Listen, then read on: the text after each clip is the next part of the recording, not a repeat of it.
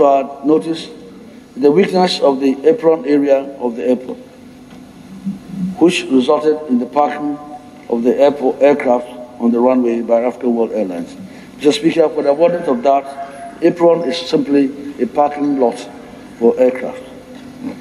The attention of the Ghana Airports Company Limited has been drawn to this, and efforts are being made to quickly repair the apron and make it suitable for use by aircraft. Mr. Speaker, I wish to conclude by saying that the recent suspension of flight operations to WA by African World Airlines, in particular, is mainly due to the COVID 19 and the dwindling passenger numbers due to the pandemic, and not necessarily the above stated issues of the uh, flight path obstructions as well as the uh, apron issue.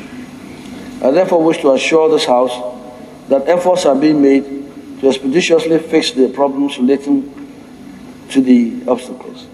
African World Airlines is also confident to start operations when the situation with COVID 19 and passenger numbers improve.